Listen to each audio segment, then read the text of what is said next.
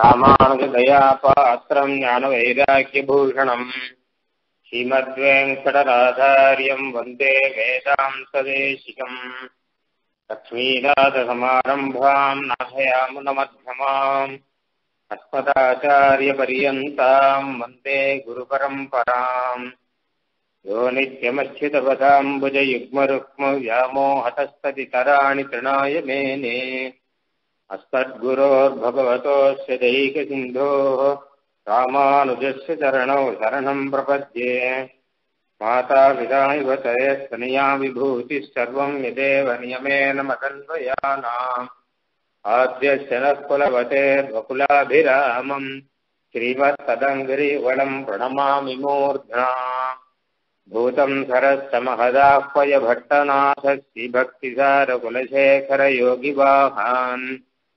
भक्ताङ्घ्रिरेणुपरकालयतीन्द्रमिश्रान् श्रीमत्पराङ्कुशमुनिम् प्रणतोऽस्मि नित्यम् சீருண்ணது புல் திருவேங்கடமுடையான் பாருண்ணச்சன்ன பழமொழியுள் போரொன்றுதானே அமையாதோ தாரணியில் வாழ்வார்க்கு வானேர போமளவும் வாழ்வு மண்ணு திருமந்திரத்தின் வாழ்துயத்தின் பொருளும் தென்னுபுகழ் கீததனில் சொன்னவன் நான் என் பொருளும்.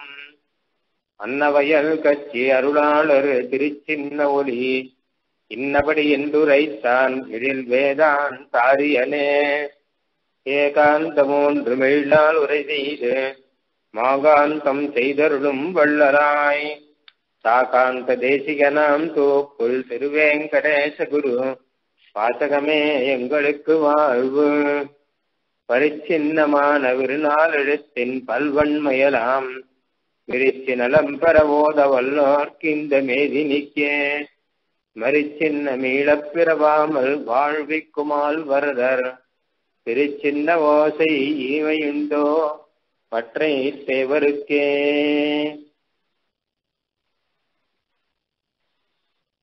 பெருமான் காஞ்சிபுரத்திலே எழுந்திருக்கக்கூடிய தேவராஜ பெருமானுடைய திருச்சின்ன ஓசை. அந்த திருச்சின்ன ஓசையினுடைய இனிமை. அதிலே தன் மனதை பறிகொடுத்தவரான சுவாமி தேசிகன். அந்த ஓசையின் அர்த்தமாக அவர் பார்த்த விஷயங்களை எல்லாம் இங்கே சாதித்துக் கொண்டிருக்கிறார். திருச்சின்ன ஓசையானது வந்தார் வந்தார் என்று பெருமாளுக்கு விருது பாடுவதாக இருக்கிறது. அப்பொழுது எப்படிப்பட்ட குணங்களையுடைய பெருமாள் வந்தார் என்பதை தம் மனசாலே அவர் அனுபவிக்கிறார்.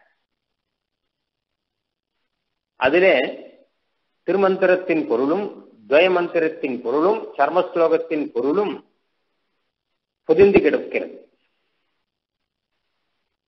அந்த பொருளை நினைத்து பார்த்து அந்த பொருளை அந்த பொருளானவர் வந்தார் என்பதாக அந்த திருச்சின்ன ஓசை ஒரு தகவலை ஒரு செய்தியை சுவாமி தேசிகனுக்கு தெரிவிக்கிற மாதிரி இருக்கான் இப்படி அழகாக ஒரு வாத்தியத்தின் ஒரு ஓசைக்கு இப்படி ஒரு விசேஷ தகவலை பொருளாக சொன்னவர் சுவாமி தேசிகன் மாத்திரம்தான் இருக்க முடியும். ஏதோ இசை அப்படின்னு சொன்னா ஏதோ சாதாரணமா கேட்பா கேட்டுட்டு போவா அப்படின்னு இருக்கும். ஆனால் இதில் இத்தனை அர்த்தம் இருப்பதாக சுவாமி தேசியனுக்கு தோணினதுக்கு காரணம் என்ன அப்படின்னா அவர் அதுல இருக்கிற இருக்கிறபடினால அந்த அர்த்தத்திலையும் ஊதி இருக்கார். இந்த திருச்சின்ன ஓசை இனிமையிலையும் ஊறி இருக்கார். அதனால இது ரெண்டும் சேர்ந்து அப்படி சொல்ல முடிகிறது அப்படின்னு நம்ம நம்ம பார்க்கலாம். அதுல திருமந்திரத்தின் அர்த்தம் எப்படி தெரியும் அப்படிங்கிறத நம்ம பார்த்துட்டு வரோம். திருமந்திரத்திலே முதல் இரண்டு பதங்களை பார்த்தோம். மூணாவது பதம் நாராயணாய அப்படின்னு இருக்கு. நாராயண ஆய நாராயணனுக்கே அர்த்தம்? அது நாராயணன் என்னால் என்ன அர்த்தம்? அப்புறம் அவனுக்கே அப்படின்னா என்ன அர்த்தம்? இது ரெண்டையும் இப்ப ரெண்டு வார்த்தைகளை சொல்ல போறேன். நாராயணன் அப்படிங்கிறது பெருமாளுடைய ஒரு திருநாமம். நமக்கு நல்லா தெரியும். பெருமாளுக்கு பிரசித்தமான திருநாமம். வேதத்திலே சொல்லப்பட்ட ஒரு திருநாமம் அது. நாராயணாய வித்மகே அப்படின்னு ஆரம்பி வேதம் சொல்றது. நாராயண உப நாராயண அணுவாக்கம் நூறு அணுவாக்கம் இருக்கு. அத எல்லாமே நாராயணன் தான் அப்படிங்கறத ஸ்பஷ்டமா சொல்ற அணுவாக்கம் வேதத்தை அப்படி வேதத்திலே சொல்லப்பட்ட ஒரு உயர்ந்த திருநாமம். மந்திரத்தில் நாலு எழுத்தாம் திருநாமம் அப்படின்னு தேசியனை சொல்ற இங்கேயே. எட்டு எழுத்து மந்திரத்துல நாலு எழுத்து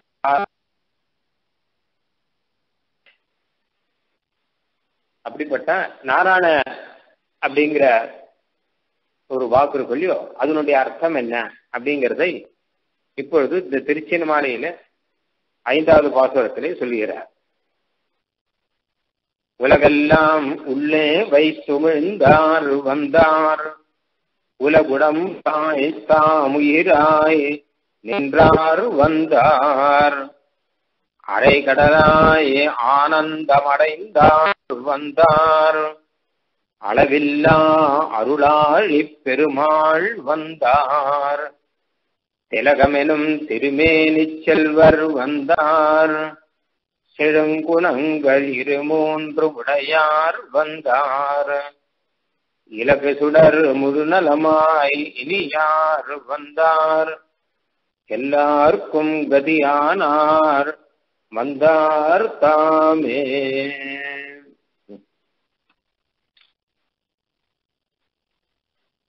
நாராயணா என்று சொல்லும்போது மிக முக்கியமாக ரெண்டு அர்த்தத்தை சொல்லுகிறார்கள். இந்த நாராயண நாமத்துக்கு பல அர்த்தம் இருக்கட்டும் உடனடியாக தோன்றக்கூடிய ரெண்டு அர்த்தம். ஒன்று நாரங்களுடைய அயனம். நாரங்கள் அப்படின்னா உலகங்கள் மொத்தமுமே நாரம். நர ஜாதானி தத்வானி நரன் அப்படின்னு பெருமாளுக்கு பெயர். அவனிடமிருந்து தோன்றின வஸ்துக்கள் எல்லாமே நாரம் அப்படின்னு பெயர். சேத்தனா சேத்திர வஸ்துக்கள் எல்லாத்துக்கும் நாரம் அப்படின்னு பெயர். நரன் தேர்ந்து வந்தபடினால நரன் அப்படின்னு பெருமாளுக்கு ஏன் பேர் வந்து அழிவு இல்லாதவன் அர்த்தம். அழிவு இல்லாமல் இப்போது இருக்கக்கூடியவனா பெருமாளுக்கு நரன் அப்படின்னு பெயர். அழிவற்றவன். அந்த நரன் சேர்ந்து தோன்றின வஸ்துக்கள் எல்லாமே நாரம் அப்படின்னு பெயர். அப்புறம் அந்த நாரங்களுக்கெல்லாம் இருப்பிடமாக இருக்கக்கூடியவன். அயன்னா இருப்பிடமா இருக்கக்கூடியவன். எல்லா வஸ்துகளுக்கும் இருப்பிடமாக சேத்தனா சேத்தன வஸ்துக்கள் எல்லாவற்றுக்கும் ஒரே இருப்பிடமாக இருக்கக்கூடியவன் அதுன்னு ஒரு அர்த்தம். இன்னொரு அர்த்தம் அந்த நாரங்கள் இருக்குள்ளோ அதெல்லாம் இவனுக்கு இருப்பிடம் அப்படின்னு ஒரு அர்த்தம். அந்த நாரங்களுக்கு இவன் இருப்பிடம்னு அர்த்தம் சொல்லலாம் இல்ல அந்த நாரங்கள் இவனுக்கு இருப்பிடமா இருக்கு அப்படின்னு சொல்லலாம். ரெண்டு விதமாகவும் சம்ஸ்கிருதத்தில் சொல்ல முடியும். இந்த ரெண்டும் இங்க எதை சொல்லலாம் அப்படின்னா ரெண்டையுமே சொல்ல முடியும். எல்லா நாரங்கள்னு சொல்லக்கூடிய எல்லா வஸ்துகளுக்கும் பகவான் இருப்பிடமா இருக்கான் அப்படின்னு சொல்ல முடியும். ஏன் அப்படின்னா அவன் தானே ஆதாரமா இருந்தான். அவன் தான் இருப்பிடமா இருக்கான்.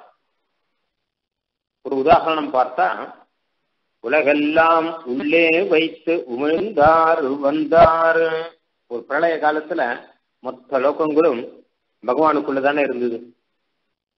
சம்ஹாரம் பண்ணும்போது எல்லாவற்றையும் தன் திருவயிற்றுக்குள்ளே வச்சுட்டான் பெருமான் வச்சு காப்பாத்துறான் அப்போ அது எல்லாத்துக்கும் இருப்பிடம் தாருனா பெருமாளுடைய திருவயிறு தான் அதுக்கப்புறம் சிருஷ்டி காலத்துல உமிழ்ந்தார். பிரளய காலத்துல உள்ளே வைத்து சிருஷ்டி காலத்துல அந்த உலகத்தை அப்படியே உமிழ்ந்தாராம் எம்பெருமான். எல்லாம் உள்ளே வைத்து உமிழ்ந்தார் அப்படிங்கிறது கீழே தன் திருவயிற்றுக்குள்ளே வச்சு அப்புறம் சிருஷ்டி காலத்தில் அந்த சேதனா சேத வஸ்துகளுக்கெல்லாம் ஆதாரமாக இருப்பிடமாக எம்பெருமான் இருக்கான். அப்படிங்கிறது தெரியும்.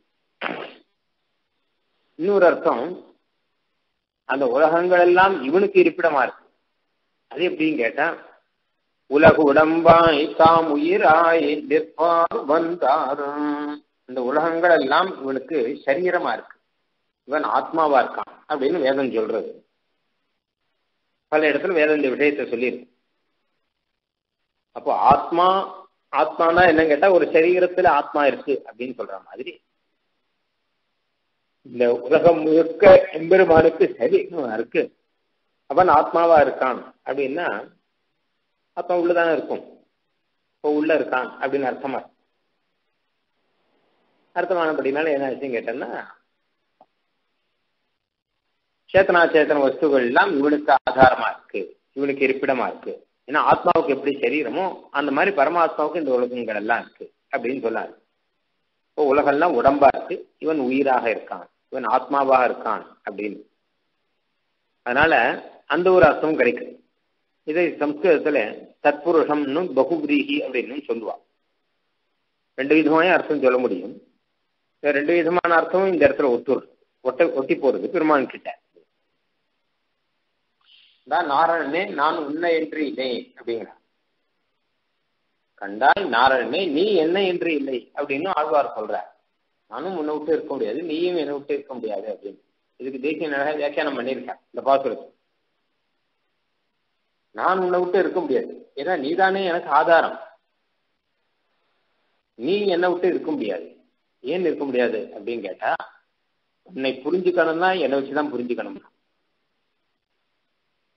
சேத்தனா சேத்தங்களை வச்சு சேதனா சேத்தனங்களை சிருஷ்டிச்சவன் சேதனா சேத்தனங்களை ரட்சிக்கவன் சேதனா சேத்தனங்களுக்கு அந்தரியாம இருப்பவன் இன்னும் இதெல்லாம் வச்சுதானே பகவான் நம்ம தெரிஞ்சுக்கிறோம்.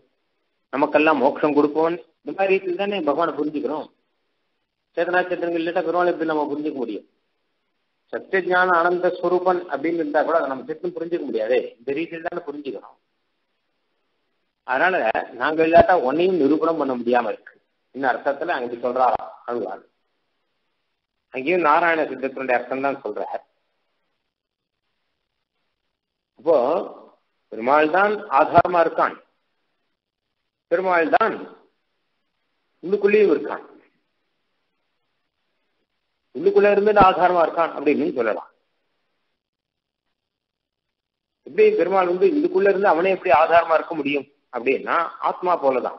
இப்போ எப்பவுமே ஒரு உள்ளுக்குள்ள இருக்கிற வஸ்து கொள்ளும் அது ஆதாரமா இருக்காது. நல்லா கவனிக்கணும். உள்ளுக்குள்ள ஒண்ணு இருக்குன்னு வச்சுக்கோங்க. ஒரு பாத்திரத்துக்குள்ள தீர்த்தம் இருக்கு அப்படின்னு வச்சுக்கோங்க. அப்ப அந்த தீர்த்தம் வந்து அந்த பாத்திரத்துக்கு ஆதாரமா இருக்காது. பாத்திரத்துக்கு உள்ளுக்குள்ளதான் அந்த தீர்த்தம் இருக்கு. அதனால இருக்க முடியாது. ஒரு பாத்திரத்துல நெய் வச்சோம்னு வச்சுக்கோங்க. நெய் வந்து ஆதாரம் கிடையாது. நெய்க்கு அந்த பாத்திரம் தான் ஆதாரம். அந்த மாதிரி ஆனா இங்க என்ன கேட்டா சேத்தனா சேத்தன வஸ்துக்கள் எல்லாத்துக்குள்ளேயும் பகவான் இருக்கான். அதுவும் வாஸ்தவம். பகவான் ஆதாரமா இருக்கான் அப்படிங்கிறது வாஸ்தவம். எப்படி உள்ளுக்குள்ள இருக்க பகவான் எப்படி ஆதாரமா இருக்க முடியும்னா ஆத்மாவா இருந்தா அது நடக்கும். எப்படி ஆனால் நம்ம சரீரத்துக்குள்ள ஜீவாத்மா இருக்கு. அது சரீரத்துக்கு ஆதாரமா இருக்கு. சரீரத்தை பிடிச்சிட்டு இருக்கு. ஜீவாத்மா இருக்கவே தானே சரீரம் நிக்கிறது. ஜீவாத்மா இல்லைன்னா சரீரம் கீழ் வந்துருமே புத்தனு கீழ் ஆத்மா இருக்க வரையும் அதுக்கு வேல்யூ அப்போ ஆத்மா உள்ளதா இருக்கு. ஜீவாத்மா எடுக்கும் பரமாத்மா விட்டுருங்க. ஜீவாத்மாங்கிறது ரொம்ப பொடியானது ரொம்ப சின்னது. சரீரத்துக்குள்ள சின்னதா இருக்கு. ஆனா அது இருந்தாதான் சரீரம் இருக்க முடியும். கேட்டா சரீரம் சரீரமாவே இருக்க முடியாது. இப்போ சரீரத்துக்கு உள்ளுக்குள்ள இருக்கிற ஜீவாத்மா எப்படி சரீரத்துக்கு ஆதாரமாகவும் இருக்கோ அந்த மாதிரி எல்லா வஸ்துகளையும் உள்ளுக்குள்ள இருக்க பரமாத்மா எல்லா வஸ்துக்கும் ஆதாரமாயும் இருந்திருக்கான் அப்படின்னு அது இல்லாட்டா அந்த வஸ்து இருக்க முடியாதுங்கிற அளவு இருந்திருக்கான் அப்படின்னு நம்ம எடுத்துக்கலாம். அதனால்தான் உலக உடம்பாய் தாம் உயிராய் நின்றார் வந்தான் உலகெல்லாம் உடம்பா இருக்கு பரமாத்மாவுக்கு. அவன் உயிரா இருக்கான். இந்த வேதம் வந்து இந்த உடம்பு உயிர் சரீர ஆத்ம பாவம் என்று பெயர் இந்த சரீர ஆத்மபாவத்தை வேதம் அழகாக சொல்றது. எல்லாம் பகவானுடைய சரீரம் எஸ் பிருத்திவி சரீரம் எஸ் ஆபகா சரீரம் அப்படின்னு ஆரம்பிச்சு எஸ் ஆத்மா சரீரம் ஜீவாத்மாவும் சரீரம் அப்படின்னு எல்லாமே பெருமானுடைய சரீரம் அப்படிங்கறத எடுத்து சொல்றோம். அந்த சரீர சரீர பாவம் அப்படிங்கிற சம்பந்தம் இருக்கு இல்லையோ சரீர ஆத்மபாவங்கிற சம்பந்தம். அந்த சம்பந்தம் நல்லா தெரியக்கூடிய ஒரு திருநாமமே நாராயண நாமம் தான் மற்ற நாமங்கள்லாம் அவ்வளவு ஸ்பஷ்டமா தெரியாது. தெரியணுங்கிற அவசியம் இல்லை. ஏன்னா பகவானுடைய கல்யாண குணங்களை இட்டு பொதுவாக நாமங்கள்லாம் வரும். யானி நாமானி கவுனானி அப்படிங்கிற இந்த நாமங்கள் எல்லாம் கவுனங்கள் கவுனங்கள்னா குணங்களை இட்டு வந்தார். அப்போ ஏதோ அந்தந்த குணத்தை இட்டு வரலாம். ஆனா நமக்கும் பகவானுக்கும் இருக்கக்கூடிய ஒரு சம்பந்தம். அந்த சம்பந்தத்தை இட்டு வரக்கூடிய திருநாமம் அப்படின்னு பார்த்தா அது நாராயண நாமம். அது. அதனால இந்த நாமங்கிறது மற்ற திருநாமங்களை எல்லாம் காட்டும் மிக உயர்ந்தது. நாம் அனுசந்தானம் பண்ணுவதற்கு ஏற்றது. அதனால்தான் திருமந்திரத்திலையும் நாராயண நாமம் இருக்கு துவய மந்திரத்திலையும் நாராயண நாமம் இருக்கு. ஸ்ரீமன் நாராயணன் துவய மந்திரத்தில் ரெண்டுலயுமே நாராயண நாமம் இருக்கு. உபாயத்திலையும் உபேயத்திலையும் நாராயண நாமம் இருக்கு. இப்படி ஒரு பெருமை இந்த திருநாமத்துக்கு நம்முடைய சம்பந்தம் இருக்கிறபடினால நம்மால புரிஞ்சுக்க முடியும் அப்படிங்கிறபடினாலையும் நம்மளுடைய சம்பந்தம் இருக்கிறபடினாலே நமக்கு உபாயம் அவன் அப்படின்னும் நமக்கு உபேயம் அவன் அப்படிங்கிறது நமக்கு புரிஞ்சுக்க முடியும். இந்த திருநாமத்தை இட்டே நம்ம புரிஞ்சுக்க முடியும் அப்படிங்கிறபடினாலேயும் இது வந்து விசேஷமாக சொல்ற வழக்கம். நாராயண நாமத்தை. இதுக்கு இருக்கக்கூடிய பெருமை மற்ற திருநாமத்துக்கு கிடையாது. நாராயண நாமத்தாலே அனுசந்தானம் பண்ண வேண்டிய குணங்கள் அப்படின்னு தேசியன் எடுத்திருக்கார். கிட்டத்தட்ட ஒரு பன்னெண்டு குணங்கள் எடுத்திருக்கார். எம்பெருமாண்டிய குணங்கள்லாம் இதுல நாம நினைச்சு பார்க்கலாம். திருமந்திரத்தை சொல்லும்போது நாராயண நாமத்தை சொல்லும்போது அவனுடைய சுவாமித்துவம் அவனுடைய வாத்சல்யம் அவனுடைய காருண்யம் அவனுடைய சௌந்தரியம் இதெல்லாம் இங்க அனுசந்தானம் பண்ணலாம் அப்படின்னு காமிக்கிற அப்படி பல அர்த்தங்களை தன்னகத்தை கொண்டிருக்கக்கூடிய அழகான திருநாமம். அதுல பிரதானமான ரெண்டு அர்த்தத்தை இப்ப சொன்னார். உலகெல்லாம் உள்ளே வைத்து உமிழ்ந்தார் வந்தார். உலக உடம்பாய் தாம் உயிராய் நின்றார் வந்தார். அலைகடலாய் ஆனந்தமடைந்தார் வந்தான். அளவில்லா அருளாடி பெருமாள் வந்தார். அலைக்கடல் இன்னொரு அர்த்தம் நாரம் அப்படின்னா ஜலம்னு அர்த்தம். அந்த ஜலத்திலே எழுந்திருக்கக்கூடிய பெருமான் அப்படின்னாலே நாராயணன் அப்படின்னு ஒரு திருநாமம் அவனுக்கு. பெருமாள் நாராயணன் ஜலேசயானகான்னு சொல்லாம அது ஜெய ஜலத்துல இருக்காருங்கிறது பிரசித்தம். இல்ல இங்க ஜலத்தை சொன்னது பொதுவாக எல்லா தத்துவங்களையும் சொன்னதா இருக்கலாம் அப்படின்னு எடுத்துட்டு எல்லா தத்துவங்களையும் இருக்கார் அப்படின்னு அர்த்தம் சொல்றது. ஜலம்னு சொன்னா கூட சிருஷ்டியில ஜலத்தை தான் முதல்ல சொல்லுவா வழக்கம். அப்பயே சசர் ஜாதவ் சாசு வீரியம் உபாசிரியத்து முதல்ல ஜலத்தை சிருஷ்டிச்சார் அப்படின்னு தான் வரும். ஆனா ஜலம் மாத்திரம் இல்லை. பிருத்திவி அப்பு தேஜஸ் எல்லாத்தையும் எடுத்துக்கணும் எல்லாத்தையும் சொல்லிச்சு ஏன் ஜலத்தை சொல்லுவானே விசேஷமா அப்படின்னு கேட்டா நம்ம இருக்கக்கூடிய பிருத்திவி இருக்கும் இல்லையோ நமக்கு ஆதாரமா இருக்கக்கூடிய பிருத்திவி. இந்த பிருத்திவியானது ஜலத்துல தான் இருக்கு. ஜலத்துல இருந்தா வந்தது முதல்ல. அதனால நமக்கு தேவையானது ஜலத்தை முதல்ல சொல்லிட்டேன். முதல்ல ஜலம் இருந்து ஜலத்திலிருந்து பிருத்திவி வந்தாச்சு அதுல நீ இருக்க. ஜலத்துக்கு முன்னாடி தேஜஸ் இருந்தது. தேஜஸ்க்கு முன்னாடி வாயு இருந்தது அது இருக்கட்டும் ஸ்டெப் பை ஸ்டெப் அதெல்லாம் தெரிஞ்சுக்கலாம். ஆனால் முதல்ல நீ இருக்கிற இடம் எங்கேருந்து வந்ததுன்னா ஜலத்திலேருந்து வந்தது அப்படிங்கிறதுக்காக ஜலத்தை சொல்கிறான் ஆனால் பல இடங்களில் இப்படி சொல்லுவான் அப்புலேருந்து சிருஷ்டி உண்டானது வேதத்தில் கூட பல இடத்துல சொல்றது அப்படின்னா ஜலம். அலைக்கடலாய். அந்த ஜலத்துல இருக்கிறபடினாலே அவர் ஏகாக்கியாக ஆனந்தமாக இருந்தார். அப்படின்னு ஒரு அர்த்தம். அலை கடலாய் அப்படின்னு சொல்றார் அலை கடலில் இருந்தார்னு சொன்னா பரவாயில்ல. அலை கடலாய் ஆனந்தம் அடைந்தார் வந்தார். அலைகள் நிறந்த கடலாக இருக்காரா? திருமால். எப்படி கடல்ல வந்து பல விதமான அலைகள்லாம் நிறைந்து இருக்கோ அந்த மாதிரி பெருமாளும் பலவிதமாக அவர் மாற்றத்தை அடையக்கூடியவராக இருக்கார். அப்படி அடைந்த பெருமாள் அப்படின்னு அர்த்தம். கலை கடலானது அலையாகவும் குமிழாகவும் நுரையாகவும் இப்படி எல்லாம் மாறுகிறா போலே பரமாத்மா தான் மாறுகிறார் அப்படின்னு ஒரு மதம் ஒன்று இருக்கு யாதவ பிரகாச மதம். அந்த மதத்தை நம்ம ஏத்துக்கல. ஆனா கூட பெருமாளுடைய பரிணாமம் தான் அந்த பிரபஞ்சம் அப்படிங்கிறத நம்ம ஏற்றுருக்கோம் ஏன்னா சேத்தனா சேத்தனம் விசேஷனான பெருமான் தான் காரணம். அவர் தான் காரியம் அப்படின்னு சொல்றபடினால அதனால அந்த ஒரு அம்சத்தை மாத்திரம் வச்சுண்டு கடல் கடல்ல இருந்து எப்படி வள வஸ்துக்கள் உண்டாகுதோ அந்த மாதிரி பெருமாள்கிட்ட இருந்து எல்லா வஸ்துக்களும் உண்டாச்சு அப்படின்னு சொல்லலாம். ஒரு உதாரணத்துக்கு சொன்னதா சொல்லலாம். அப்படி சொன்னதா வச்சிருந்தா அலை கடலாய் இவர் முதல்ல கடலாக இருந்தவர். பெருமானுக்கு கத்து சொல்றோம் கடல் வண்ணர் அப்படின்னு பெயர் பெருமாள் திவ்ய குழந்தைகள் கடல் வண்ணர் திசைதார் காப்பாறாரே. கடல் வண்ணர் அப்படின்னா கடலை போன்ற சுவாவம் உடையவர் என்ன கடல் எப்படி எல்லா வசுக்களையும் தனக்குள்ளே வைத்து காப்பாற்றுகிறதோ? ஒரு கடல்னா கடலுக்குள்ள எத்தனை இருக்கு? கடலுக்குள்ள எத்தனையோ ஜந்துக்கள் இருக்கு எத்தனையோ ஸ்தாவரங்கள் இருக்கு. அது தவிர பூமிக்கு எல்லாமே அந்த கடல் தேவையா? அந்த மாதிரி எல்லாரையும் காப்பாற்றக்கூடியவர் அப்படின்னு அளவில்லா அருளாள் இப்பெருமாள் வந்தார். இந்த நாராயண நாமத்துல எத்தனையோ குணங்கள் நாம் அனுபவிக்கலாம் அப்படின்னு சுவாமி தேசியன் சொன்னதை பார்த்தோம். அதுல முக்கியமான குணம் வந்து காருண்யம் கருணை அப்படிங்கிற குணம். இது அளவில்லாத கருணை உடையவரா பெருமாள். அந்த கருணையை நம்ம வச்சுட்டு தான் நம்ம சரணாகதி. சிவன் நாராயண சரணோ சரணம் பிரபத்தியே அப்படின்னு அவன் திருவடியில சரணாகதி பண்றது. அவன் கருணாமூர்த்தி அப்படிங்கிறபடினாலதானே அதனால ஒவ்வொரு குணத்தை பார்க்கும் போதும் அந்தந்த குணத்துல அளவில்லாமல் இருக்கக்கூடியவன் நிருபாதிகமாக இருக்கக்கூடியவன் எல்லை இல்லாமல் இருக்கக்கூடியவன் அப்படிங்கிறத நம்ம சேர்ந்து அனுசந்தானம் பண்ணணும். அந்த மாதிரி இதுல அளவில்லாத கருணை உடையவன் அப்படிங்கறது ஒரு குணத்தை அழகா எடுத்து சொல்ற அளவில்லா அருள் அளவில்லாத ஒரு அருள் ஆழி ஆழின்னா கடல். அந்த கருணை கடலாக இருக்கக்கூடிய பெருமாள் வந்தார். அளவில்லா அருளாழி பெருமாள் வந்தான் அருளாள பெருமாள் தானே பேரருளாள பெருமாள்.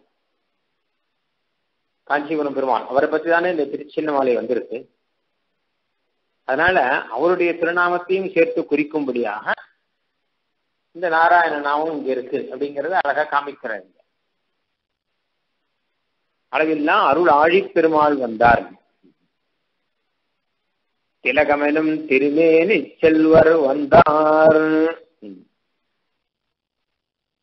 ஒரு திருமேனி உடையவர் அப்படின்னு பெருமாளை நம்ம அனுசந்தானம் பண்ணும்போது நாராயண நாமத்தை அனுசந்தானம் பண்ணும்போது கூடவே நல்ல திருமையானியோடு கூட இருப்பவர் என்பதையும் சேர்த்து அனுசந்தானம் பண்றோம். அவருடைய குணங்களையும் சேர்த்து அனுசந்தானம் பண்றோம். அவருடைய திருவேணியும் சேர்த்து அனுசந்தானம் பண்றோம். அதனால அதை காண்பிப்பதற்காக திலகம் வேணும்னா திலகம் போல இருக்கக்கூடிய திருவேணி இப்படி திலகம்னா சிரேஷ்டம் அர்த்தம். உயர்ந்ததுன்னு அர்த்தம்.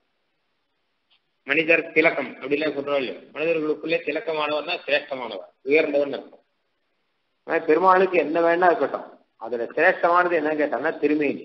அழகான ஒரு திருமேனி. சௌந்தரியம் சௌகந்தியம் லாவண்யம் முதலான குணங்கள் எல்லாம் இருக்கக்கூடிய ஒரு திருமேனி பெருமாளுக்கு சொன்ன குணங்கள்ல பார்த்தோம்னா சில குணங்கள் ஆத்மாவுக்கு இருக்கும் சில குணங்கள் திருமேனிக்கு இருக்கும். பெருமானுக்கு கருணை அப்படிங்கிற குணத்தை எடுத்து பார்த்தான்னா இது ஆத்ம குணங்கள். சௌந்தரியம் அளவில்லாத சௌந்தரியம் உடையவன் அப்படின்னா அது பார்த்தா திருமேனியினுடைய குணம் சௌந்தரியங்கிறது திருமணிக்கு தானே இருக்கும். சௌந்தரிய சௌகந்த சௌகுமாரிய லாவண்ய யௌவனாதி அனந்த குணநிதி திவ்ய ரூபா லாவண்யம் யௌவனம் சௌகந்தம் நல்ல வாசனை இதெல்லாமே திருமேனியில இருக்கக்கூடிய குணங்கள் இதெல்லாமே. ஞானவலை ஸ்வரிய வீரிய சக்தி தேஜஸ் சௌசீல்ய வாத்சல்ய மார்தவ ஆர்தவ சம்பார்த்த சாமிய காருண்ய மாதுரிய காம்பீரிய ஔதாரிய சாதுரிய ஸ்தைரிய தைரிய சௌரிய பராக்கிரமம் முதலானது சொன்னதெல்லாம் ஆத்மாவில் இருக்கக்கூடிய குணங்கள். இந்த மாதிரி ரெண்டு குணத்தையும் சேர்த்து நம்ம அனுசந்தானம் பண்ற வழக்கம். ஏன்னு கேட்டா பெருமாள்னு சொன்னாலே திருமேனியோடு கூட இருக்கக்கூடிய பெருமான் அப்படின்னு நம்ம எடுத்து பார்க்கணும். இவன் நாராயண சரணம் தானே துவயத்துல வந்திருக்கு. சரணம்னு சொன்னது திருமேனியை குறிப்பிட்டு குறிப்பிடுறதுக்கு தானே. அப்போ உபாய திசையிலையும் பலதசையிலையும் ரெண்டுக்குமே பெருமாளுடைய திருமேனி நமக்கு தேவையா இருக்கு. பெருமான் எப்படி தேவையோ அந்த மாதிரி பெருமாளுடைய திருமேனியும் நமக்கு தேவையா இருக்கு. அந்த திருமேனி தான் சிரேஷ்டமா இருக்கு. ஒரு விதத்தில் பார்த்தா பெருமாளை காற்றும் இது வசத்தின்னு சொல்லலாம் போல ஸ்வரூபாத்து சுவாமினோ ரூபம் உபாதேய தமம் விதுகு அப்படிங்கிறார்.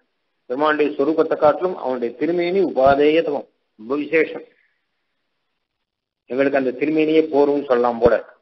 கோயில போய் பெருமாள் சேவிச்சா சேவிச்சோம். எப்படி இருக்காருன்னா ஆச்சரியமா இருக்காரு. ஆனா ஒரு வேதாந்தி இருக்கார் என்ன சொல்லுவார் அப்படின்னா அது பெருமாள் இல்ல பெருமாளுடைய திருமேனி அப்படின்னு கோயில நம்ம சேவிச்சோமே ஒரு திவ்யமான ஒரு ரூபம் அழகான ரூபம். அவர் பெருமாள் இல்ல அவர். அவர் பெருமாளுடைய திருமேனி அவர். பெருமாளுடைய திரு உடம்பு அவர். பெருமாள்ங்கிறவர் அந்த திருவுடம்புக்குள்ளே இருக்கக்கூடிய பரமாத்மா. அவர் வேற. அவர் நம்ம கண்ணுகளுக்கு தெரிய மாட்டார். நாம என்ன பண்றோம்? அந்த திருமேனியை பார்க்கும்போது ஒரு திருமேனி அப்படின்னு ஒரு சிலை அப்படின்னு பார்க்காமல் உள்ளுக்குள்ள பரமாத்மா இருக்கா அதுக்குள்ள ஒரு சைத்தன்யம் இருக்கு. அவருக்கு ஒரு காருண்யம் இருக்கு. அப்படின்னு வச்சுட்டு தான் நம்ம சேவிக்கிறோம். அவர் கருணையினாலே காப்பாத்துறார். அவர் எல்லாம் தெரிஞ்சவர் அவர் என்னை இந்த இடத்துல ஈடுபடுத்தி வச்சிருக்க எனக்கு இந்த வரனை கொடுப்பார். அப்படின்னு வச்சிருந்தாலும் சேவிக்கவர் அது வெறும் கல் அப்படின்னு நினைச்சு சேவிக்கல. அது ஒரு அது ஒரு திருமேனி. அது ஒரு ஆத்மாவுடைய திருமேனி. உள்ளுக்குள்ள ஆத்மாவா ஒருத்தர் இருக்கார். அவர் இப்படிப்பட்டவர் அப்படின்னு தானே சேவிக்கணும். அப்போ அதை புரிஞ்சுட்டு உள்ளுக்குள்ள பெருமாள் இருக்காங்கிறத புரிஞ்சு சேவிக்கணும். ஆனா இத்தனை அளவு தீபா பார்க்க முடியாதவா என்ன பண்ணுவான் கேட்டா அவர் தான் பெருமாள் அப்படிங்கிறார் இந்த திருவேணி பார்த்தா அவர் தான் பெருமாள் அப்படின்னா ரொம்ப சந்தோஷம்ங்கிறார் சுவாமி. ஏன்னா பகவத் விஷயத்துல அந்த திருமேனி பார்த்து பெருமாள் சொன்னா சொல்லட்டும். அதனால பரவாயில்ல.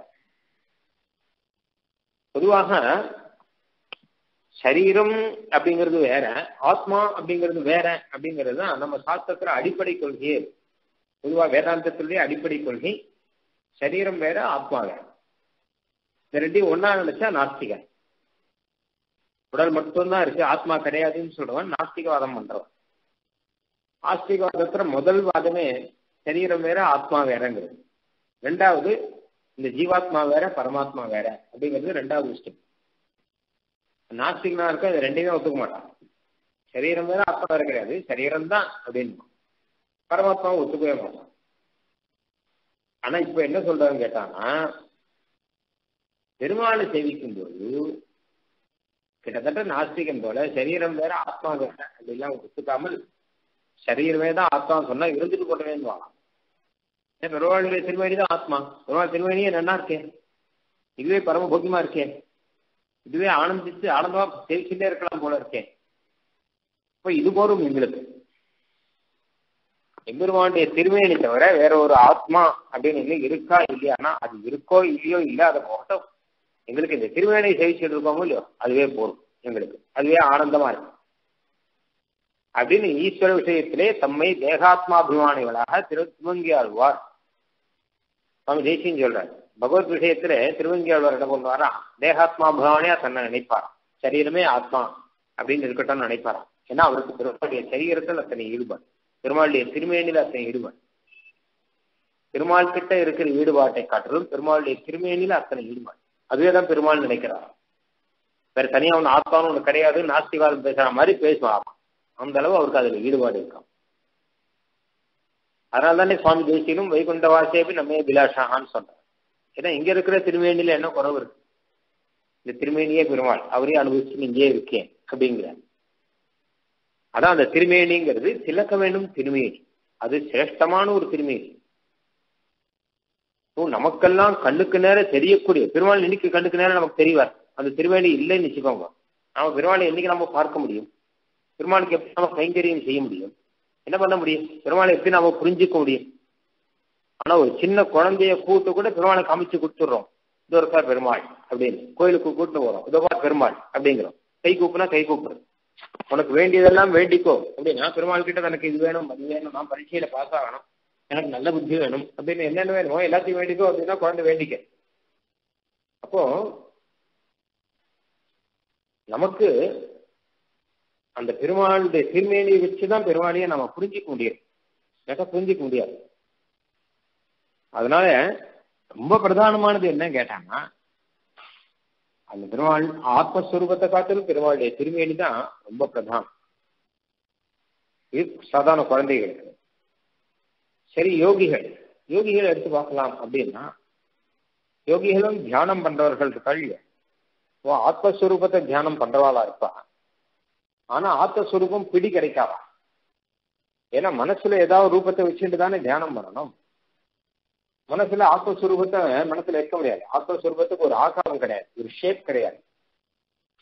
அப்ப அதை எப்படி மனசுல அதை வச்சு பிடிச்சு வச்சு எப்படி அதை தியானம் பண்ண முடியும்?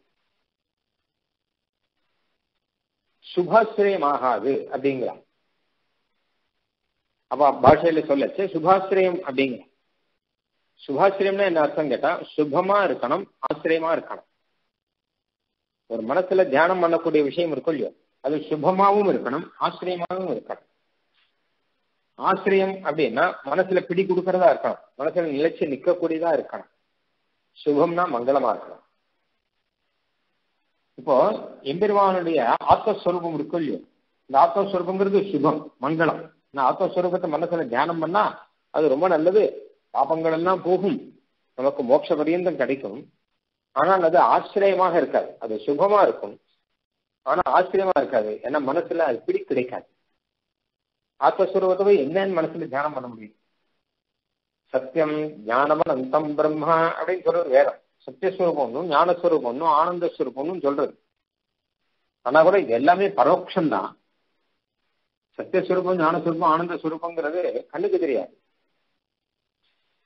பரோட்சம்னு கேட்டா வாக்கியத்துல சொன்னா அது புரிஞ்சுக்கலாமே தவிர கண்ணுக்கு தெரியாதுன்னு அதான் பரோட்சம் வாக்கியத்துல சொன்னா புரிஞ்சுக்கலாம். அவ்வளவுதான். இந்திரியத்துல அனுபவிக்க முடியாது. ஆமா.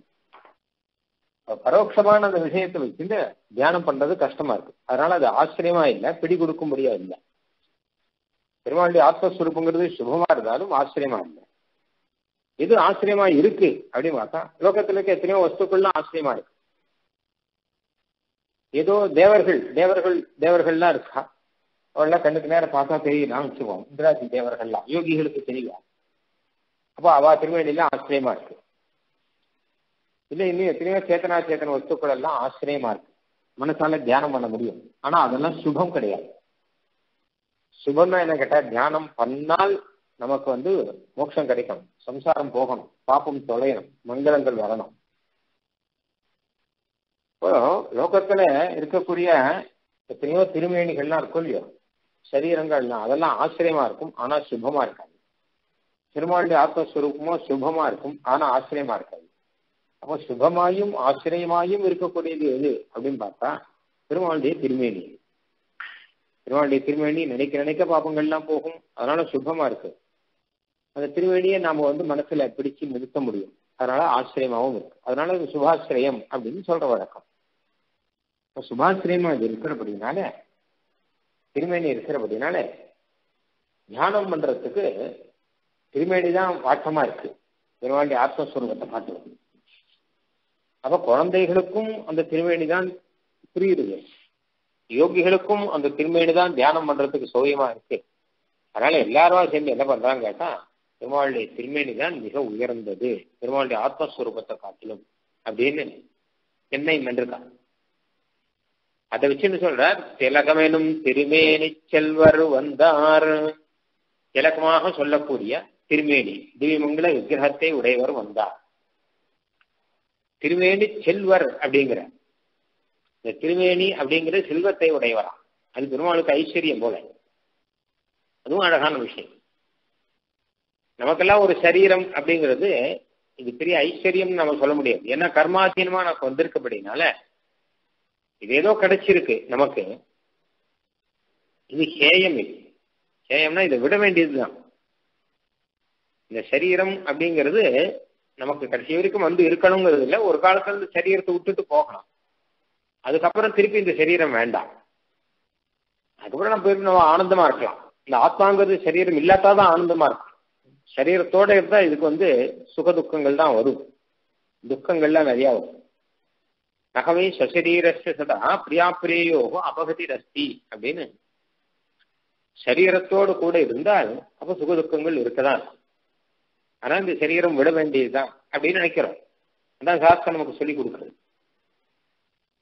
அதனால இந்த சரீரத்தோடு இருக்கக்கூடிய நம்மளே இந்த சரீரம் அப்படிங்கிற செல்வமுடையவன்னு சொல்ல முடியாது. ஏன்னா சரீரங்கிறது ஏதோ வந்துருத்தோ நமக்கு அப்படின்னு நம்ம சொல்லிட்டு இருக்கோம். ஆனா எம்பெருமான் திருமேனி அப்படிங்கிறது அவன் வந்து தன்னுடைய சங்கல்பத்தினாலே எடுத்துருக்கிறபடினால அந்த திருமேனி செல்வர் அப்படிங்கிற திருமேனிங்கிற செல்வத்தை உடையவராக எம்பெருமான் இருக்கார். பெருமாளுடைய விபூதிகள் பார்த்தோம்னா அவனுடைய செல்வங்கள் பார்த்தோம்னா அதுல திருவேணி பிரதானமா அனந்த குணநிதி திவ்ய ரூபா அப்படிங்கிற கத்தியத்துல அனந்தமான குணங்களை உடைய திவ்யமான திருமேனியை உடையவர். இந்த திருமேனியை சொல்லும்போது இதுவும் நார நார சப்தத்தினுடைய அர்த்தமாக கத்தியத்துல சொல்றேன். நாரா அப்படின்னா நரனோடு சம்பந்தப்பட்டது நாரம் நரன்னா பெருமாள். பெருமாளோடு சம்பந்தப்பட்டது எல்லாமே நாரம் அப்படின்னு அர்த்தம். பெருமாளோட சம்பந்தப்பட்டது எவை அப்படின்னு கேட்டாங்கன்னா பெருமாளுடைய குணங்கள் பெருமாளுடைய திருமேனி அந்த திருமேனியில இருக்கக்கூடிய ஆயுதங்கள் பூஷணங்கள் முதலானது இது எல்லாம் நாரத்துல சேர்க்கிற கஜத்துல இந்த நாராயணங்கிறதுக்கு வியாக்கியானம் பண்ணச்ச எல்லாத்தையும் சேர்த்துக்கிறாரு அத்திரத்வயம் அப்படிங்கிறது வர கத்தியத்துல வந்து துவயத்தினுடைய வியாக்கியானம். அது வரைக்கும் அந்த துவய மந்திரத்தினுடைய வியாக்கியானம்னு எடுத்துக்கணுமா? அப்போ அது அதுல முதல்ல ஆரம்பிச்சு அகிலேஹேய பிரத்தனி முதல்ல ஆரம்பிச்சு சி சி சப்தத்துல அர்த்தத்தை முதல்ல சொல்லிடும். அகிலேஹேய பிரத்தனிக்கு சமஸ்தவஸ்து விலக்கணானந்த ஜானானந்தைக ஸ்வரூபா அப்படின்னு நாராயண நாமத்தோட அர்த்தத்தை சொல்றேன் இதுல முதல்ல ஸ்வரூபத்தை சொன்னார். அகில ஹேய பிரத்யேக ஒரு தோஷமும் இல்லாமல் ஞானானந்தைக சுரூபனாக இருக்கக்கூடியவனே அப்படின்னு. அப்புறம் சுவாபாவிகான அதிகாதிசிய ஞான வர ஈஸ்வரிய வீரிய சக்தி தேஜஸ் சௌசீல்ய மாத்தல்யான பகவானுடைய குணங்களை எல்லாம் சொல்ற இந்த குணங்கள் எல்லாம் நாரங்கள். அதாவது பகவானை சேர்ந்தவை அர்த்தம். நரன்னா பகவான் இந்த பகவானை சேர்ந்தவை எல்லாம் நாரங்கள். நரசம்பந்தினோ நாராகா அப்போ குணங்களை மாத்திரம் சொல்லாமல் குணங்கள்லேருந்து ஆரம்பிச்சு அதுக்கப்புறம் வந்து எம்பெருமானுடைய குணங்கள் என்ன? எம்பெருமானுடைய பூஷணங்கள் என்ன? எம்பெருமானுடைய ஆயுதங்கள் என்ன? அப்புறம் விராட்டிமார் என்ன? இப்படி எல்லாத்தையும் எல்லாருமே பெருமாளோட சம்பந்தப்பட்டவர்கள் தானே. எல்லாத்தையும் நாரங்கள் அப்படின்னு சொல்லி அந்த நாரங்களுக்கெல்லாம் அயனமாக பெருமான் இருக்கான் இருப்பிடமாக ஆதாரமாக பெருமான் இருக்கான் அப்படிங்கிறத நாராயணன் அப்படின்னு சொல்ற அது சொல்லும்போது எம்பெருமானுடைய திருமேனி அப்படின்னு அதுவும் அதுல சேர்ற. அதுவும் நாரமா நாரம் அப்படிங்கிறதாக இருக்கு. முக்கியமானது அதனால ஒரு நாரம் அப்படிங்கிற ரீதியில எம்பெருமானை சேர்ந்ததுங்கிற ரீதியில முக்கியமாக நம்ம சொல்ல வேண்டியது இந்த திருமேனி அது எம்பெருமானுக்கு பெரிய ஐஸ்வர்யமாக இருக்கக்கூடிய எப்படி பெருமானுடைய குணங்கள் எப்படி அவனுக்கு பெருமை சேர்க்கிறதோ அதுபோல அவனுடைய திருமேனியும் அவனுக்கு பெருமை சேர்க்கக்கூடியதாக இருக்கு. இப்படி இதனுடைய தத்துவத்தை அழகா சொன்னதே நம்ம மதம்தான். ஏன்னா சில மதங்கள்ல பெருமானுக்கு சரீரம் இருக்குன்னு பயப்படுறாவா சரீரம் இருக்குன்னு எப்படி சொல்ல முடியும் அப்படிங்கிறாங்க. ஏன்னா சரீரம் இருந்தா சுகதுக்கம் வந்துடாதோ பெருமானுக்கு சரீரங்கள்லாம் ஒன்றும் கிடையாது அப்படிங்கிறா. நதே ரூபம் நச்ச ஆகாரா உனக்கு சரீரம்னே ஒன்று கிடையாது. ஆத்மஸ்வரூபத்துக்கு. சரீரம் இருந்தால் கர்மம் இருந்தால் தான் சரீரம் வரும். அப்படிலாம் நினைச்சுட்டு இருக்கார் அப்படி இல்லை இந்த சரீரம்ங்கிறது எம்பெருமானுக்கு விபூதியாக இருக்கக்கூடிய அவனே ஏற்றுக்கொண்ட சரீரம். அஜோபிஷன் அவ்யாத்மா பூதானாம் ஈஸ்வரோபிசன் பிரகிருதி சுவாம் அதிஷ்டாய சம்பவாமி ஆத்மமாயா அப்படிங்கிற பகவத்கீதையில கண். இப்படி இருந்தாலும் எனக்கு உண்மையில உற்பத்தி கிடையாது நாசம் பிறப்பு கிடையாது இறப்பு கிடையாது ஒன்றும் கிடையாது. ஆனால் நான் என்னுடைய சுவாவத்தை விடாமல் நான் அவதாரம் பண்ணுகிறேன். பல திருமேனியை நான் எடுத்துக்கிறேன் அப்படிங்கிற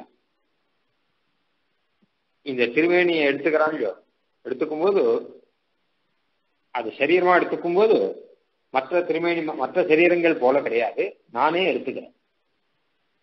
என்னுடைய சுவாவத்தை விடாமல் எடுத்துக்கிறேன்.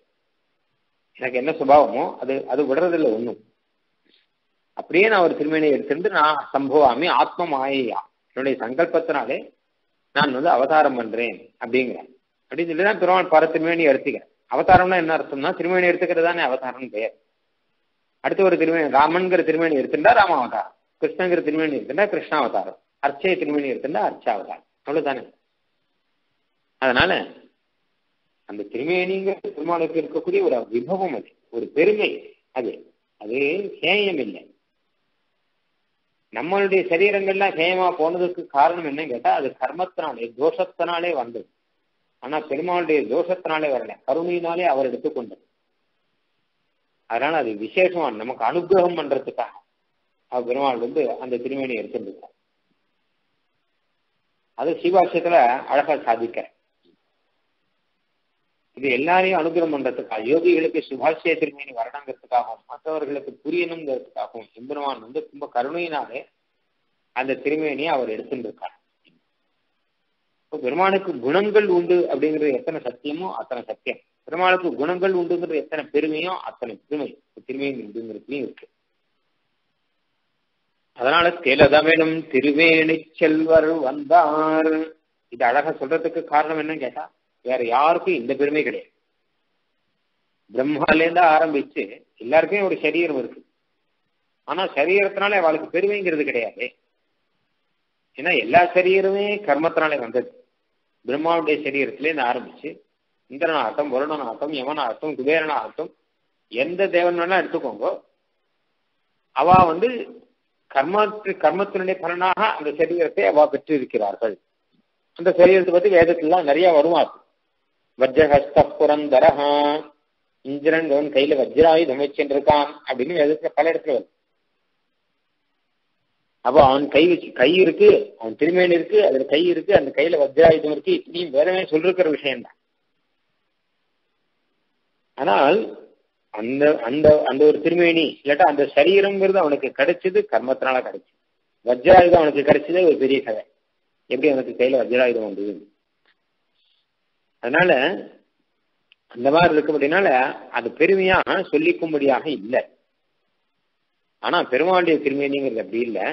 அது சிரேஷ்டமா இருக்கு. ஒரு விதத்துல பார்த்தா பெருமாளை காட்டிலும் சிரேஷ்டமா இருக்கு. அது.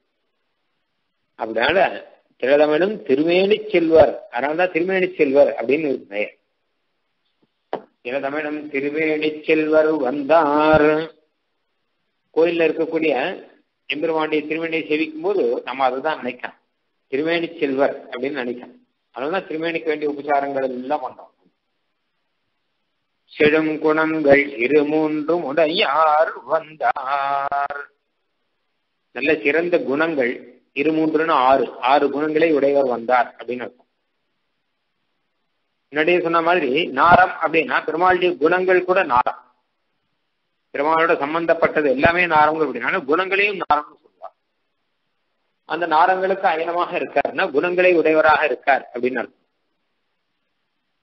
அனந்த கல்யாண குணங்களை உடையவர் அப்படின்னு அர்த்தம். எம்பெருமாண்டி கல்யாண குணங்கள் எத்தனை கல்யாண குணங்கள் அப்படின்னா நம்மளால எண்ணவே முடியாது. அது ஒரு அர்த்தம். அனந்தம் அப்படின்னா அந்தமில்லாதது எண்ண முடியாததுன்னு ஒரு அர்த்தம். இன்னொன்னு இதுல ஒவ்வொரு குணமுமே அனந்தமா இருக்கு. அளவில்லாம இருக்கு. கருணைன்னு ஒரு குணம் எடுத்துன்னு வச்சோம் அதுக்கு ஒரு எல்லை இல்லாமல் கருணா அப்படிங்கிற குணம் இருக்கு. ஞானம்ங்கிற குணத்தை எடுத்துனோம்னா எல்லை இல்லாத ஞானம் அப்படிங்கிறது பகவானுக்கு இருக்கு. அதனால அனந்தமான கல்யாண குணங்கள் முடிவில்லாத கல்யாண குணங்களை உடையவர் அப்படின்னு அத அனவதிக அதிசய அசங்கேய அப்படின்வார் அனவதிக அதிசய எல்லை இல்லாத அசங்கேய எண்ணிக்கை இல்லாத கல்யாண குணங்கள் குணங்கள் உடையவர் அப்படி ஒரு சிறந்த குணங்கள் கல்யாண குணங்கள். அது இரு மூன்று ஆறு குணங்களை பிரதானமாக சொல்லிருக்க இருக்கும் பெருமானுக்கே தவா அனந்த குணச அபி சடையவ பிரதமே குணாக அப்படிங்கிறது. அனந்த குணம் உனக்கு இருந்தா கூட அதுல ஆறு குணம் ரொம்ப முக்கியமானது அப்படின்னு சாஸ்திரத்துல எடுத்து சொல்லியிருக்கான் எல்லா குணத்துக்கும் ஆதாரமான குணம் அப்படிங்கிறது ஆறு குணம் இருக்கான். ஞானம் சக்தி பலம் ஐஸ்வர்யம் வீரியம் தேஜஸ் என்ன ஆறு குணங்கள். ஞான சக்தி பல ஐஸ்வர்ய வீரிய தேஜஸ் அப்படின்னு கத்தியத்துல சொல்றார். சுவாபாவிக அனவதிகா திசேஞான வைஸ்வர்ய வீரிய சக்தி தேஜஸ் அப்படின்னு ஆரம்பிக்கிறேன் அதுக்கப்புறம் தான் சௌசீல்ய அப்படின்னு ஆரம்பிச்சு சொல்றேன் இந்த ஆறுலயே எல்லாம் அடங்கியிருக்கான் நிறைய. எப்படி ஒரு கடல்ல வந்து அநேக வஸ்துக்கள் அடங்கியிருக்கோ அந்த மாதிரி இந்த ஆறு குணங்கள்ல நிறைய அடங்கியிருக்கு அப்படிங்கிற ஞானம் அப்படின்னா அந்த ஞானத்திலே நிறைய அடங்கியிருக்கு. ஒரு விதத்துல பார்த்தோம்னா எம்பெருமாண்டிய தயை அப்படின்னு சொல்றோம்னு வச்சுக்கோங்க. இந்த தயை கூட கிட்டத்தட்ட ஒரு ஞானம் மாதிரி தான் எப்படி கேட்டா தயானா என்ன? அப்படின்னா இன்னொருத்தர் கஷ்டப்படும் போது அந்த கஷ்டத்தை போக்கடிக்கணும்னு இருக்கக்கூடிய பெருமாள் இருக்கக்கூடிய ஒரு இச்சை ஒரு திருவுள்ளம் அப்படிங்கிறது தான் தயா. கஷ்டப்படுறானே அவன். அந்த கஷ்டத்தை பார்த்து வெறுமை இருக்கிறது இல்லை பெருமாள் கருணையோடு இருக்கிறவனுக்கும் கருணை இல்லாதவனுக்கு என்ன வித்தியாசம்னா யாராவது ஒருத்தர் கஷ்டப்பட்டார்னா கருணை இல்லாதவனுக்கு உனக்கு ஒண்ணுமே தோணாது. அது கஷ்டப்படுற அப்படின்னு தோணும். ஆனா கருணையோட இருக்கும் ஐயோ அந்த கஷ்டத்தை நாம போக்கடிக்கணுமே அப்படின்னு தோணும். அந்த கஷ்டம் போறதுக்கு என்ன உபாயம் அப்படின்னு அவன் யோசிப்பான்.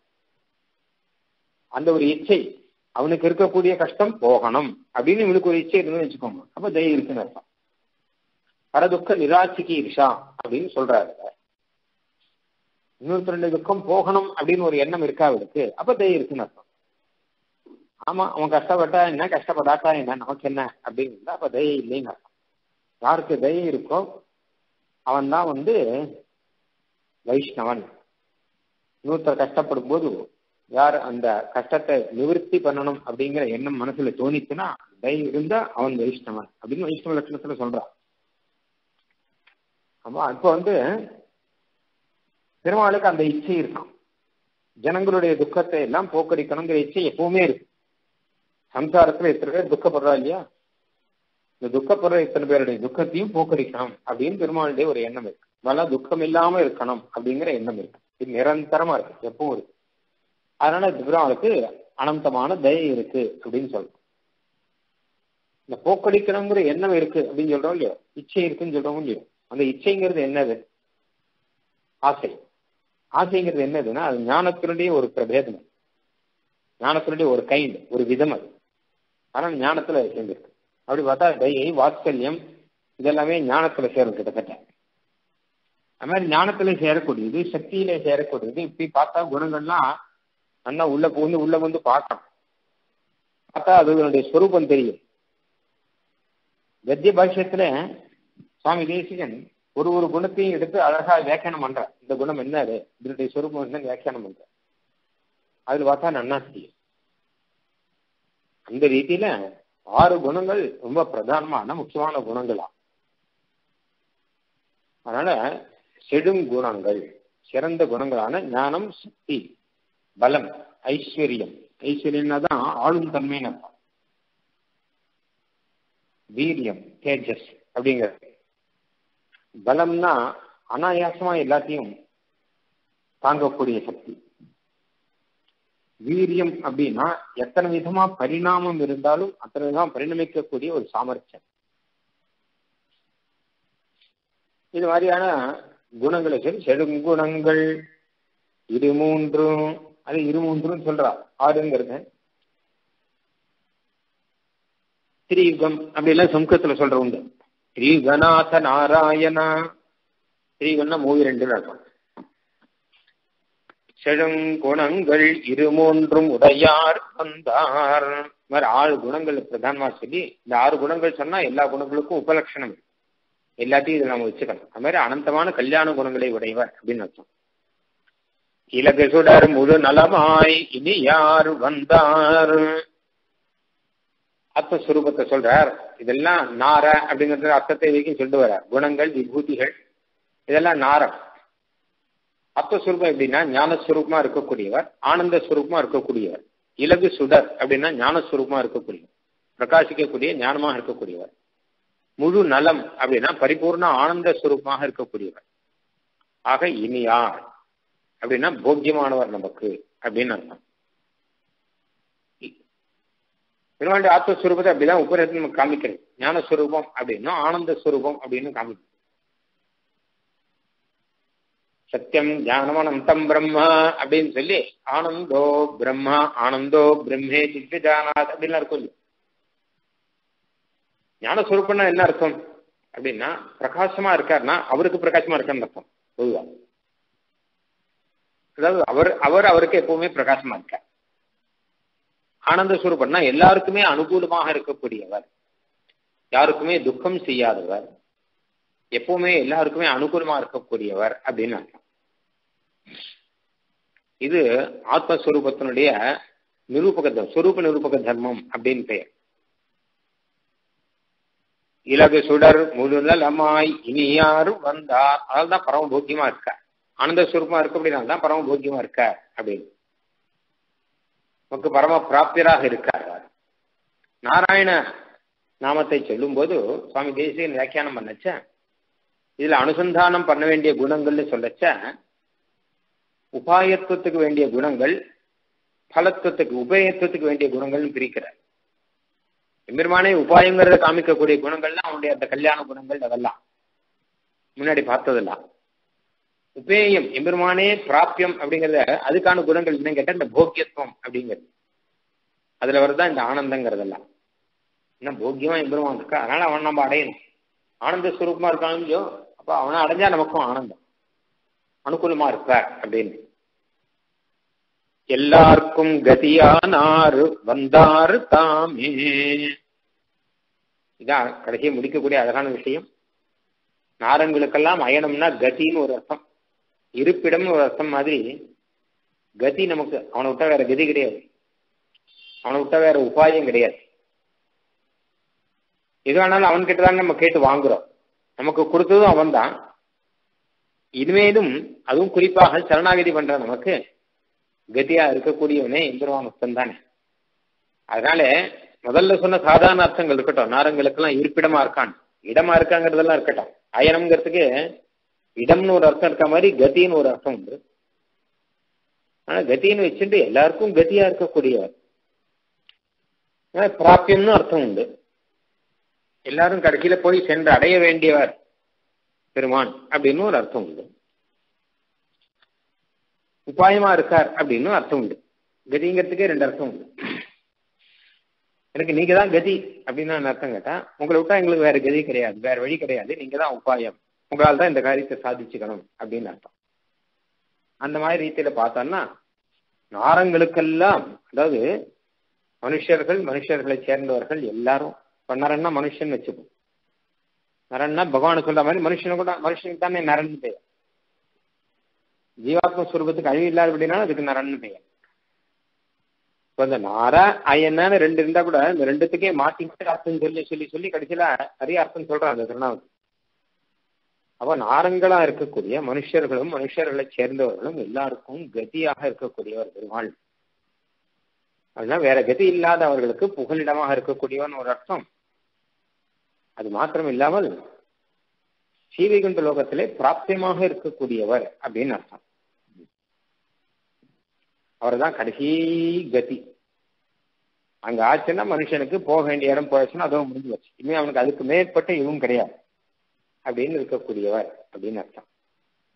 எல்லாருக்கும் எல்லா ஜீவர்களுக்கும் தேவ மனுஷ யக்ஷ கிண்ணற கந்தர்வர்கள் மாதிரி இன்னும் முக்தர்கள் உட்பட எல்லாருக்கும் கதி. நமக்கெல்லாம் கதினா உபாயம்னு அர்த்தம். முக்தர்களுக்கு கதினா பலம்னு அர்த்தம். கடைசியில் நமக்கும் அதுவா ஆக போற. அதனால எல்லாருக்கும் கதியானார் அப்படின்னு நாராயண சப்தத்துல அர்த்தம் கிடைக்கும். வந்தார் தாமே. அப்படிப்பட்ட எம்பெருமான் இங்கே வந்தார். திருச்சினமலை முதல்ல பார்த்தோம். காஞ்சிபுரத்திலே அத்திகிரி அருளாள பெருமாளானவர் பிரம்மாவனுடைய அஸ்வமேத வேள்வியிலே அவர் அவதாரம் பண்ணும்போது திருச்சின்ன ஓசையை கேட்டுதான். அந்த திருச்சின்ன ஓசையில இந்த அர்த்தங்களை எல்லாம் பிரம்மா அனுபவிக்கிறார். இவர் வந்தார். பெருமாள் அப்பதானே வந்திருக்கார். அதனால பெருமாள் அவதாரம் பண்ணியிருக்கார் வந்திருக்கார் வந்திருக்கார். கிட்டத்தட்ட அதே அனுபவத்தில் பெருமாள் திருவீதி பொறுப்பாடு வரும்போது பெருமாள் இந்த மாதிரி கல்யாண குணங்களோட கூட அவர் பெருமாள் வந்தார் அப்படின்னு தெரிவிக்கும்படியாக அந்த திருச்சின்ன ஓசை இருக்கான் திருச்சின்னத்தோட தானே பெருமாள் புறப்பாடு நடக்கும். ஆனால் அந்த திருச்சின்ன ஓசை இருக்கான் அதை சுவாமி தேசிகன் இப்படி ஒரு உயர்ந்த அர்த்தங்களோடு கூட அனுபவிக்கக்கூடிய பாங்கை நாம் இப்போது பார்த்துட்டு இருக்கோம். அதில் நாராயண சப்தத்தினுடைய அர்த்தத்தை நாம் பார்ப்போம். இனிமேல் அடுத்ததாக ஆய அவனுக்கே நாராயணனுக்கே அப்படின்னு அவனுக்குன்னா என்ன அப்படிங்கிற அர்த்தத்தை அடுத்த பாசத்தை நாம பார்க்கலாம். ஆழ்வார் எம்பெருமான் ஆர் சீரார் திருவேங்கடமுடையான் திருவடிகளே சரணம்.